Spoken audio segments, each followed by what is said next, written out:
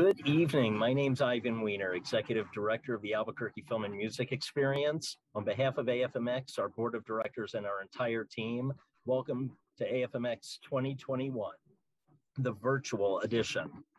Before we get started with our next event, this amazing Q&A, I want to thank some of our presenting sponsors. AFME Foundation, Albuquerque Film Office, and Film Liaison Cindy McCrossin, Albuquerque the Magazine, Bernalillo County Commissioner Stephen Michael Quezada, Brezza Terena Olive Oil, Comcast NBC Universal, Real Solutions Airport Meet and Greet Service, Sunny 505, the Baker Law Group, University of New Mexico Film and Digital Arts, Wells Fargo Advisors and Larry Schwartz, Yamaha Entertainment Group, and Jelska Road Productions. For a complete lineup of all of the films and events this week, visit afmxnm.com. Without further ado, let's just jump into this. I want to introduce our Director of Operations, Kira Seipler. Kira, take it away. Thank you, Ivan. Welcome to our film block number three. This is a great collection of short um, narrative uh, comedies. So I hope you all get a chance to, to see them before um, October 11th. They will be available online until then. Uh, please note for today's Q&A, you are um, able to ask questions of our filmmakers. All you got to do is just put your question in the chat box and we'll make sure we do our very best to get them to the filmmakers. Um, please note, all the Q&As and center stage conversations will be recorded and available online through October 11th. And I'd like to introduce our moderator, Zabrina Chavez. She remains one of AFMX's favorite intern volunteers she is a passionate music lover and has a love for local artistry and live music. She's also an avid photography uh, photographer and is probably one of the most positive people you'll ever have the pleasure of knowing. A graduate of Sandia High, she currently attends UNM as a film production student. She also holds an associate degree in graphic design from CNM. So please help me welcome Zabrina. Welcome, everybody. Thank you so much for tuning in. I hope you're enjoying your evening so far. Uh, so far, we have her release directed by Valentine and written by Benjamin. So I gotta ask, who's into fart play? no, I'm I didn't just... write it. Yeah, he wrote it. So Benjamin, if you don't mind me asking, I'm curious. I want to know what made you want to write about the female release. And please correct me if my assumption is wrong about your identity. But as a cis male, the female gaze isn't really considered or looked at. And I just want to know what you what you thought about when you wanted to make this film about the female gaze. Well, I approached it from a very different point of view. Um, I wrote a feature years ago called Bad Milo. It also was about a demon that comes out of a guy's ass when he gets upset. And I swore to I swore to people I've interviewed with like I'm not going to be pigeonholed. And then here I was years later writing another uh, scatological movie. But the root of it was I was really hungover in Austin, Texas, at the Austin Film Festival, and I was thinking about um, how do you take something that's how do you go how do you span genres in a short amount of time as possible? And i had just for some reason thought about um, what I, am very shy about body function. So when i moved in with my girlfriend i would spend a lot of time going to the store. Sorry i was getting too detailed. But the point is i was like there's a shame and and and and and, and how do you make something that's that that is both shameful but also funny and then make it something that is uh, ends up being horrific. Um, and so I wrote the script um, and then kind of sat on it for a day and then and then did another quick draft and then I sent it to Valentine. I was like, this is really weird. Um, I know you've been looking to direct something and I don't know what to do with this because it really does start as like a very juvenile, silly thing. Well, actually, it starts more as a, as a very romantic, lush thing. Then it, you think it's going to be this twist of a joke, ha ha ha, and then it becomes something completely different. So I was actually going from like a, more of a formalistic way into like how do you how do we ch- challenge ourselves to do something very very weird um, and very quickly that's wonderful i didn't even Wow, thank you. I appreciate that. Now I have a better idea. Speaking of the shame, watching this, I felt very comfortable, at ease, and of course, entertained. Uh, the comfort came across when the female character gave her consent to her partner, because sex positivity is all about consent, of course. And the ease came in when both of the characters were very nonchalant when the little poo initially happened. Mm-hmm. Um, but I, I guess you kind of answered that already. But what do you, if you don't, either of you, if you don't mind answering, how do you feel about little body mishaps during adult activities? it happens. they, they are a thing that exists. yeah. Um, I mean, I suppose, you know, uh, I don't think anyone, I don't know, I shouldn't say that. That's not true at all. I think, um, uh, especially you know in, in the, the maturation of your relationship sexually whoever you are having sensual uh, um, experiences with th- there's there's this phase in the middle always uh, um, as a person ages where they kind of let go of some other things but still have the residual like boy five years ago that would have really freaked me out for yeah. example or you know would have, would have set me off in some way yeah. And I do think it's interesting that you pointed out that, you know, Raul and Talia, it becomes clear that they are they're sort of in that space. Like, yeah, it's weird, but I'm not gonna hold it against you if you don't hold it against me. And let's not forget what we're here for. And it, it was important to me that the the the driving thing that where the bait and switch happens in this this short is that the the ability to have pleasure is withdrawn.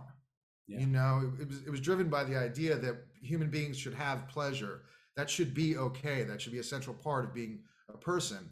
And increasingly, we are put upon.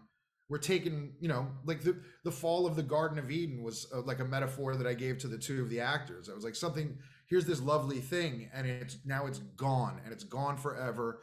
And when it's gone, it's terrible, you know. So we're just trying to kind of pump the stakes up on what's essentially a fart joke, yeah, to something that has resonance, you know. Mm. Does that answer? Is that anything like? yeah, that was great. The garden of the garden, like went deeper. I didn't mm-hmm. even. Wow, how interesting. Thank you.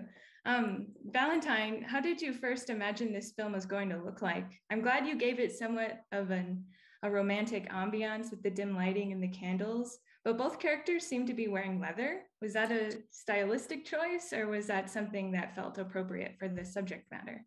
that that was a stylistic choice. So, some of which was that you know we don't have any money, and I was trying to give it some sort of texture, something something that was tactile, and I, I very much liked the sound of leather, almost at a subliminal level, being in the audio space. You know, like when when Raul shifts his body, you you hear it. It's not like a big sound, but it's a sound that's there um, same thing with you know like like Talia's hair. It was like we, we had we had a hair person who I happened to just coincidentally have known for very many years, and I was like, "You ever seen Vertigo? I mean, I know you can't do what they did with her hair, but will you do something like that? Like, I want to use that echo, you know, of of of of strange obsession and fetishism. You know, the leather was part of that too. You know, these things were very kind of stylized.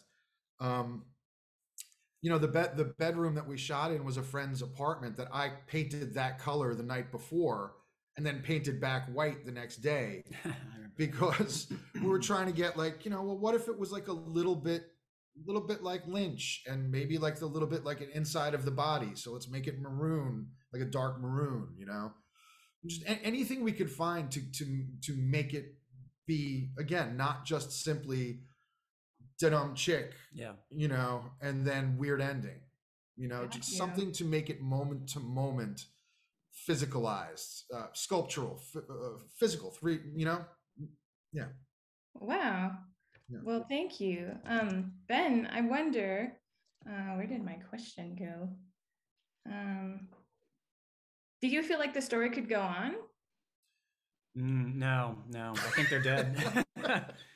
it's bad. Yeah, it's, yeah, it's, it's, like like a worldwide plague is about to happen, and it's starting with these two patients. Patients zero.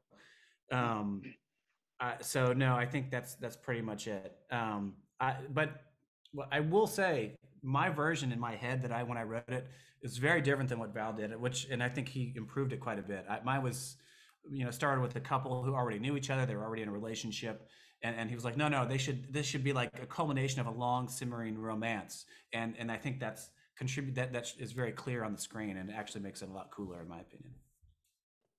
Well, all right. Thank you so much, you two. It was great to hear a little bit more about your film and all of your thoughts. I enjoyed it greatly. Uh, we're going to move on to Swipe, and we're going to hear from Anthony. And I hope you're doing all right, Anthony. I'm doing great. Wonderful. How are you doing? Are you good? Yeah, I'm trying cool. my best here. I'm warming up to it. um, not to judge you or put you on the spot or anything, but growing up as a kid, did you swipe from corner stores? Well, that's, I mean, that, that, this story is based on something I did when I, with my friends. Um, we were like, we needed, it was the 90s, and we're like, we need to get a porno somehow. Uh, you know, before like, I think AOL was like just happening, and it was like, but no one had a computer, like maybe one person in our neighborhood.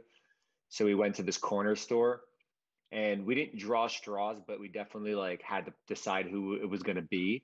I thought the drawing of the straws was just good visual language so that you could watch it with the sound off and then tell what's going on.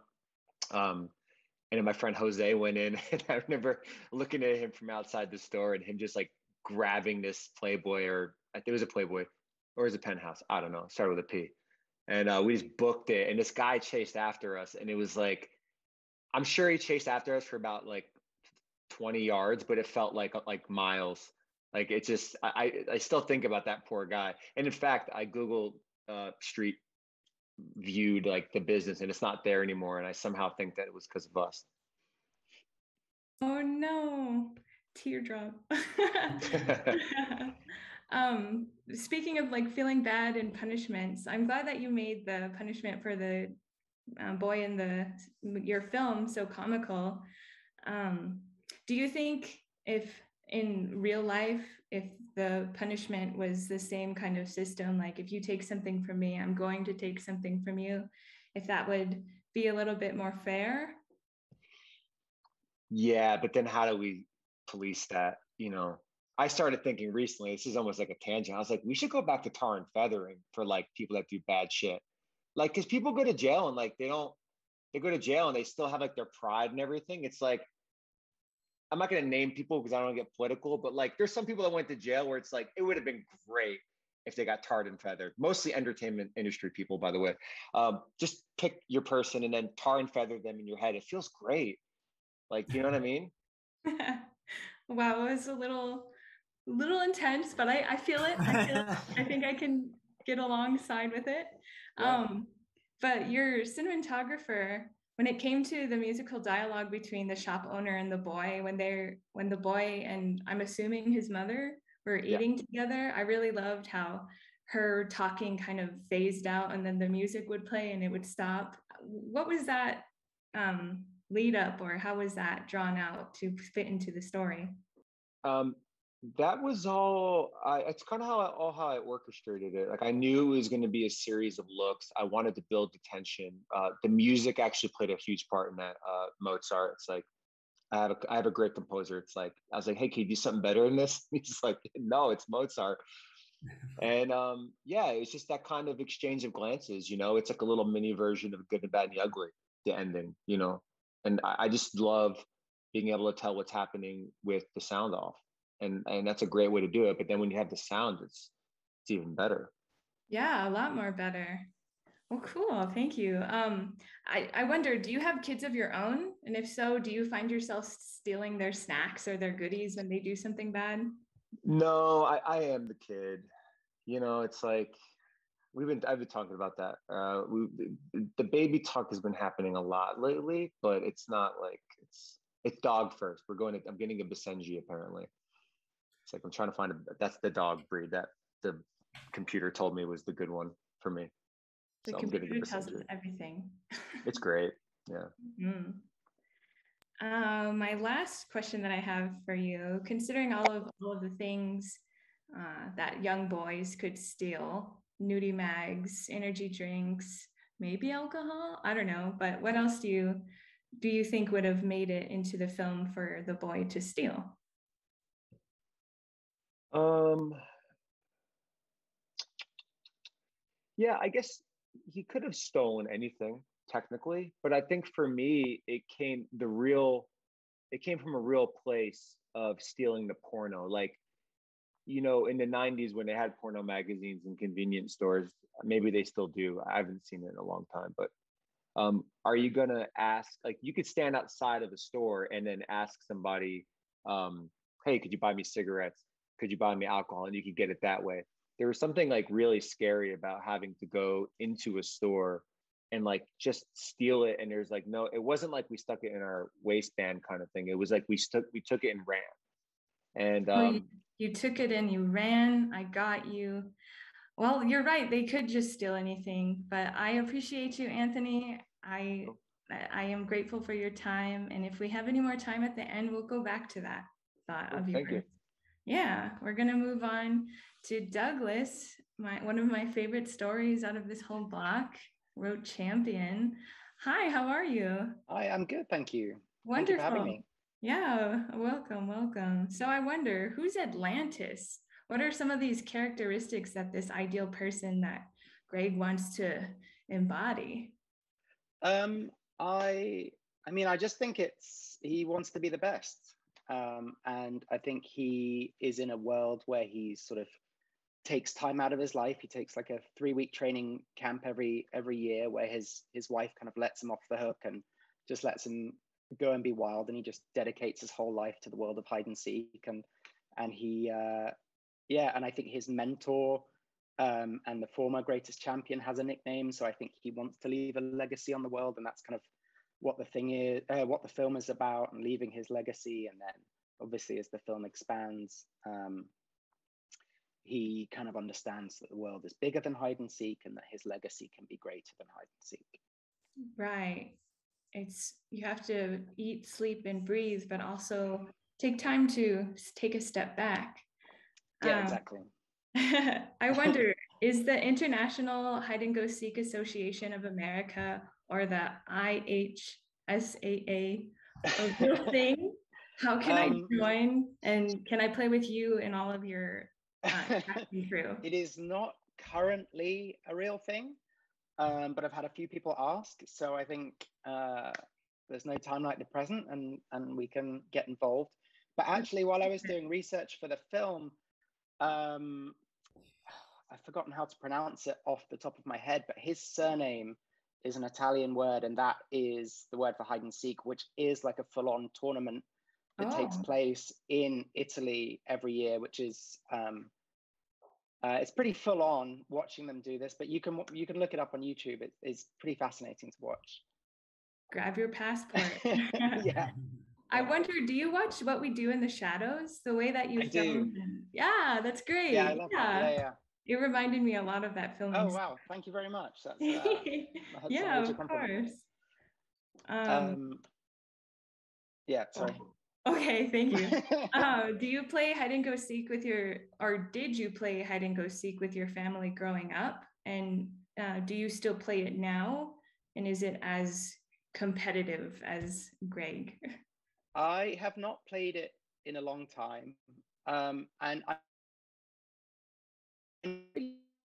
I would play it with, in sort of big family games, but never with my immediate family, just like a, a family activity. But it was always something I really enjoyed, and uh, I mean, the, the the spur for hide and seek was just my sorry, my internet connection's unstable, so I may be cutting in and out. But um, I just really love sports documentaries, and like with 30 for 30, things are getting more and more niche. And so that was kind of my thing. I was like, how niche do these things get, and and how can we take it there right away?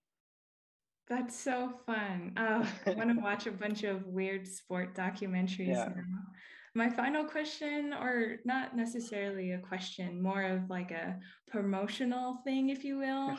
if we were to do a promotional commercial for the IHSAA to get more people involved, what would that sound like? Um, I think it would be very over the top. I think it would be a lot of explosive noises and action and trying to draw the crowd in. Um, So a Michael Bay film, you're saying? Yeah, I think so. A Michael Bay thing over a lot of uh, just landscapes of, of, empty landscapes of people, obviously hiding in, in the background and and uh, yeah, taken as seriously as possible. I think. Well, that's great. Thank you so yeah. much for all of your time. My pleasure. Thank you. Thank you for having evening. me. Now we're going to go over to Ramona. And for now you see us. Hi, how are you? Hi, it's Romina. Romina, my apologies. No Thank you for correcting me. Um, Romina. Tell me, do you have girl power? Do I have girl power? Yeah.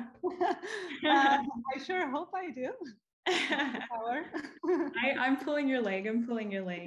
Um, I give you so much gratitude and props for making a very female centric project. I wonder, how was it working with so many talented women? Oh my goodness, it was amazing. It was um, a very singular experience. Um, I don't know. I, I like I had, of course, nothing against working with a set full of men because I've done that so many times. But there's something to be said about um, the special energy that I found on set. And shooting a film is kind of like going to war, you know? and um, I think we all felt like we had each other's back. Um, and the shoot went to like the wee hours of the night. And there was no whining or anything like you know like we're stereotyped to, to do as women. All the country there was so much hard work and professionalism and just uh, support that we felt this bond uh, that for today is like life changing you know like sisterhood. Uh, and these women that i most of them i didn't know. And um, it was Barbara's, uh, who, Barbara, who you've been in touch with. She is the writer of the play that the film is based on.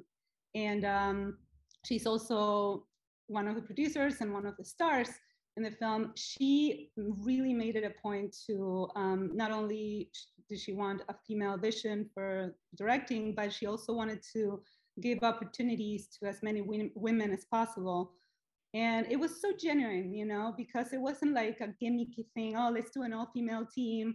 It was she really genuinely wanted to give opportunities to women. And it was a wake-up call wake up call for her for me how you know i'm like i don't know any female gaffers. I don't know any female grips and we're sure they're out there. It's just mm. i've never worked with them and i don't know anybody who's ever worked with them. And i'm like how could that be and we ended up putting this team together, and these women were amazing. And they're people who I would work with over and over again. So, wow. yeah, it was very, That's very beautiful. Nice. Sounds like one big community of strong women. As a director, I wonder, do you notice the decline of alternative people in the acting and casting industry? Um, the decline, I, know, I think it there's finally a, a, search for, you know, to, to increase representation. We have a long way to go, but people are more aware, I feel. So that's, it's something positive, but I mean, it's still, we're still account, we still account for very little of the industry, but, but I think it's improving. So yeah. That's great i'm glad that you feel like it's improving because i don't know a lot of the times like the your wonderful actresses in the film said a lot of the commercials for uh, products for people of a particular age it's always just those people oh and, yes. Yeah and oh yeah yeah yeah I, I thought you meant more for like crew and uh, behind the scenes uh, but it's it's all around though uh, when we're talking about uh, women of a certain age as they call it in the film right? Um, it's it's really uh, again it is changing. Some things are changing but um, and what sparked the idea actually for for barbara to write the story is that she really felt invisible. And i know a lot of uh, older women uh, say that they feel invisible to society and she did not only to society, but especially to the industry. And it's it's just so sad how after a certain age, which is not even a certain age, like after 40 or 50, um, women just get placed into these like they can't play the love interest anymore. Like actors in their late 30s or early 40s are being told that they're too old to play the love interest of a man in his 50s or you know like late 50s and we have come to accept that somehow as a norm. And so this film tries to address that like in the industry and in real life too how we are sometimes we don't even realize it how we stereotype or or think uh, that that older people are uh, frail or clueless in many ways or disabled in many ways. And it's not that there aren't people like that but it's mm-hmm. you can't generalize just like with any stereotype. And exactly. Yeah they're people as well. They just happen to be that way. Yeah and we're all going there you know? It's mm-hmm. like uh, uh, when doing my research. I heard a monologue by marian alda and she just so brilliantly put it how we either die young or grow old and you know like it's she she said I've, i went from people saying uh, oh she uh, she uh, she she had her her life ahead of her to being like oh i'm sorry i'm not putting it right or I, I don't remember it but it was she brilliantly put it way better than me but mm. about something about either dying young or or growing old you know and uh, unless we are willing to grow old, uh, dying young is all we've got. and uh, so we're all headed in, in, in a direction where uh, we, we, we all will get older and we are not necessarily like, this affects people's health, you know, to be mm-hmm. stigmatized and, and just put in, in this category. And yeah, and, and so when Barb wrote the, the play, she really felt like of course, there are women who need to do these commercials for meds and old people's diapers and all these crazy things. But you know, we also drive cars. Why can't we be in a car commercial? And we eat cereal. Why can't we be in a cereal commercial? Exactly. And, and your film and all of your hardworking folks on team put it beautifully. And I'm very happy that I was able to see that. Thank you so much for answering all of my questions. And I hope that you enjoy the rest of your time in the festival. Thank you. Thank you. I'm very glad to be here and very excited to watch all the films. Wonderful. So now we're going to move on to uh, The Big Nobody, one of my I don't I don't know, this one I, I wanted more from it. Why did you do it to us like that? How how it ended, it was just so it was very chipper uh, how do you say, uh, quirky, if you will, and then bam, it happened. Why, why did you choose to cut us off like that? Yeah, I guess it does kind of seem like it's funny because like I kind of centered the whole script around that incident. I haven't watched all the blocks. And I don't know if you guys are, so I don't want to like give it away. But um, or I guess it doesn't matter, but because it just screamed. Um, I don't know. I think I'd centered so much around that being the climax that after that, you know, I, but looking back on it, if I was to rewrite it, of course, maybe I would. I did actually have an alternate ending that I didn't do because it was winter, but I was going to have the two, Marco and then the character that I play, like run off of a pier in Coney Island. And it was going to freeze frame of them just like high fiving, falling in the water. And I was like, that'd be so funny because they're like dumb and dumber. But it was Coney Island, it was winter. Everyone's like, it's not happening. I, I feel that I'm that alternative ending sounds fun, but I'm glad that everyone was comfortable at least. um, growing up in your where you're from, did you know anybody who was like Chad Smith Jr.? it's funny, not really, but like growing up, like I feel like Bushwick, it, there's a part in Brooklyn called like Bushwick, and it's like this hipster mecca, and it becomes this bubble, and it just has a funny way. A friend of mine one time described it as like the never ending dorms, because like you graduate college and then you move there, and like all your friends live there, and you go out till 4 a.m. and you crash in people's houses. And it, you start to like kind of hate a normal life. And even though I never met anyone, Chad Smith Jr. was like this guy that I invented who they epitomized as like this perfect person, but really he just ended up being a normal guy with a normal job. Right. He's just a dude. I wonder now that we're uh, adults or whatever, do you ever feel like you still have your your angst of like, oh, my art isn't as good enough, or I don't know. This is going to be like my last question for you. Do you still have those moments where you second doubt your works of art? Oh yeah, I mean every day, every time. Of course, like you know what writing is rewriting, right? Sometimes someone said that to me one time and I was like, yeah, that's true. Um, for sure, and you just have to keep plowing through it and you know not kill anybody because right keep on rocking in the free world. Well hey thank you so much. I, I hope that those were fun and i got to pick your brain a little bit. I do hope you enjoy the rest of your evening. I will thank you. Awesome. We're going to move over to ghosted now. I'm going to talk to Tracie. Hello. Where, where Hi. oh there you are. Okay. Um so I, I wonder, moving, in, mm, how do I word this? moving on in any type of relationship can be hard, especially when they're romantic.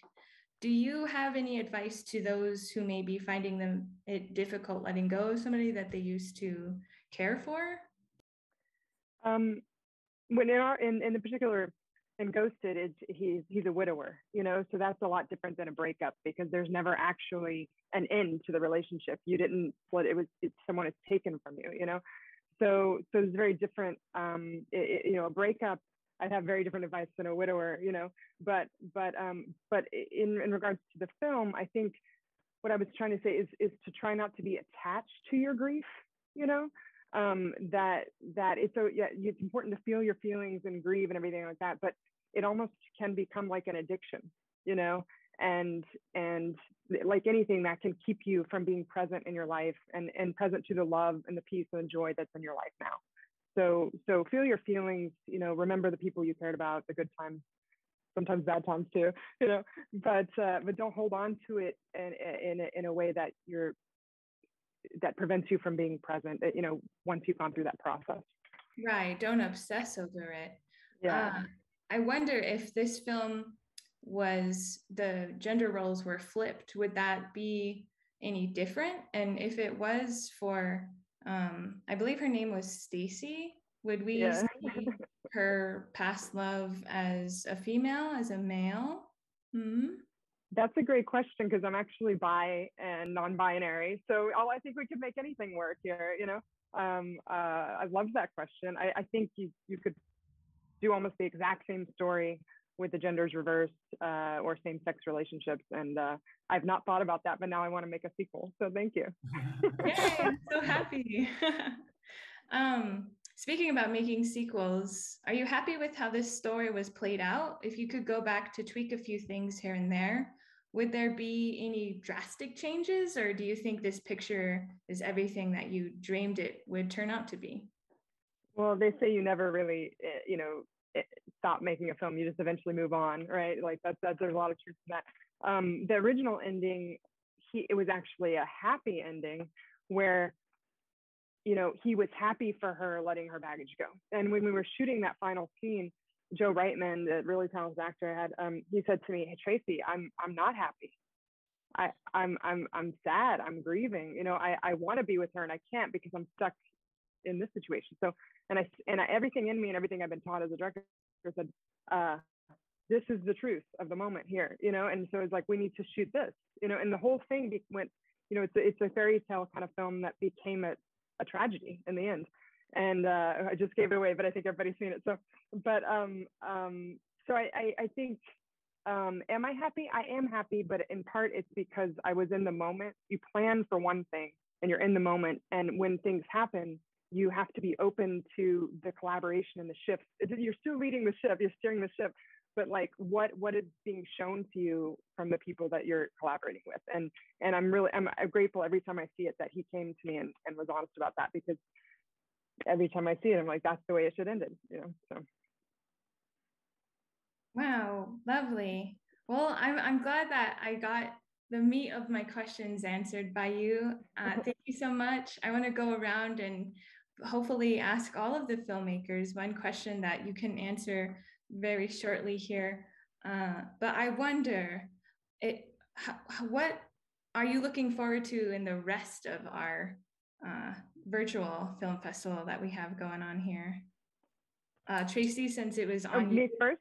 yeah, Um, well, every everything that Ivan said earlier, uh, the 9:30 uh, virtual on Friday, which I, didn't, didn't write the name down, but that is I was like must see, you know.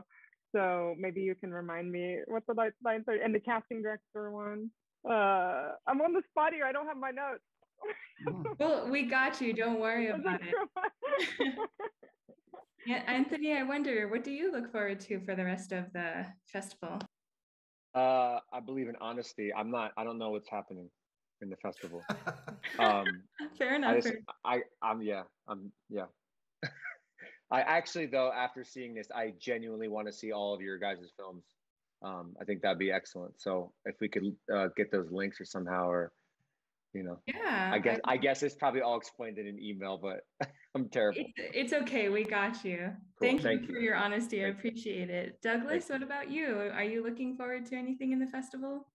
Um, I'm kind of in the same boat as Anthony, uh, but sitting here listening to everyone, I really want to go through and watch everyone's films here, and um, yeah, just explore the festival and see what else is on offer. Can, can I add one thing? Um, Go for it. Bud- Buffy Sainte-Marie. I want to see Buffy Sainte-Marie. That is uh, very exciting to me.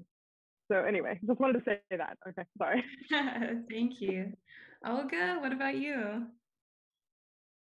Really slow on the unmute. Um, yeah, I'm really ex- just excited to watch the films and like, you know, in the comfort of my own home, I guess, and connect with you guys and chat and just have a good time. Yeah. Heck yeah, thank you. And last but not least, uh, remind me, Romina. Yeah, you got it. Very beautiful. Are you yeah, I get Ramona all the time, so don't worry about that. I'm just I'm used to. Uh, but well, I'm of course also very much looking forward to watching everybody's films. Uh, but I'm also very excited about that those uh, center stage center stage conversations. They all look very interesting to me, so I'm hoping that I can catch all of them actually eventually because they're a lot. I I most definitely look forward to what Kira was talking about earlier, the uh, heroine, the the hero kind of.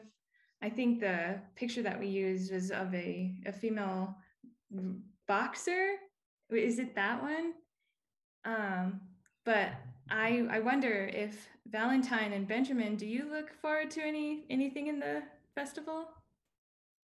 Well, yeah, for sure. I want to watch this whole block right away. I got very intrigued listening to everybody tonight.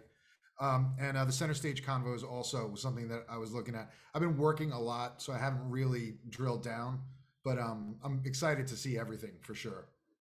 Same. I, uh, I when I lived in Austin, I would go to the South by Southwest and Austin Film Festival every year, and I would actually that was my vacation time. So I loved um, just kind of you know following you know wandering the festival and following my bliss, and so I imagine that's kind of what I would like to do with this virtual experience, which will be new to me.